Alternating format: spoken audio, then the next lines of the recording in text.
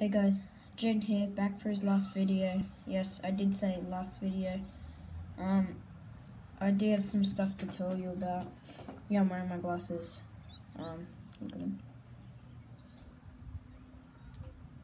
Yeah. Um, so, it was so hard to explain.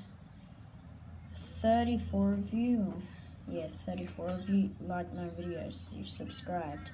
It's awesome but I'm not gonna be posting until next year. No, mm, that's not true. Not posting until next Christmas because I need to worry about school. I'm not worrying about YouTube. I want to get good grades. I want to get everything good. So you heard me clear. I'm not posting until Christmas time. I hope you can understand that because I'm probably I'm failing school. It's not probably I am. I need to worry about school, not YouTube. Um, I did say for my final video I was going to do some flips on the concrete.